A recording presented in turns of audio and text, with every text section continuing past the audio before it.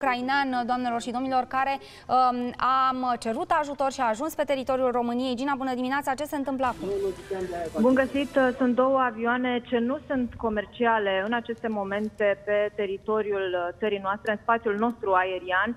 Primul avion a fost escortat de poliția aeriană și a aterizat pe aeroportul din uh, Bacău. Înțelegem că a reclamat o problemă de combustibil această aeronavă. Repet, nu sunt avioane comerciale, cele două despre care vorbesc acum. Uh, s-a închis pista pe aeroportul uh, din Bacău și acum acel avion este acolo, pe acea pistă închisă. Încă un avion în aceste momente este escortat la fel de poliția aeriană spre aeroportul din Cluj-Napoca. Al doilea nu știm exact ce problemă are, însă urmează să aterizeze pe aeroportul din Cluj-Napoca. Acestea sunt uh, informațiile uh, din acest moment, așadar vorbim despre două avioane ucrainiene ce nu sunt uh, comerciale. Unul dintre ele a aterizat, cum vă spuneam, în Bacău, având o problemă de combustibil pe care a sesizat-o. A fost pista închisă acolo, iar în aceste momente un alt avion tranzitează spațiul nostru aerian și se îndreaptă spre Cluj-Napoca,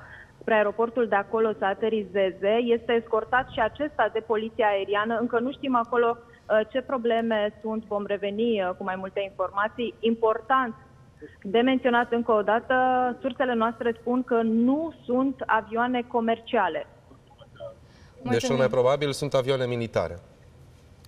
Nu am uh, confirmarea acestei uh, informații deocamdată, Andrei, doar această precizare am putut uh, să o obțin așa pe surse din interiorul Ministerului Transporturilor. Mulțumim foarte mult, Gina, pentru aceste informații în exclusivitate pentru Antena 3. Așadar, două avioane necomerciale, unul care a aterizat deja pe aeroportul din Bacău, se pare că a cerut ajutor pentru că a rămas uh, fără combustibil. Încă un avion este escortat în acest moment de poliția aeriană către aeroportul din uh, Cluj-Napoca. Nu avem deocamdată informații suplimentare legate de acest uh, avion.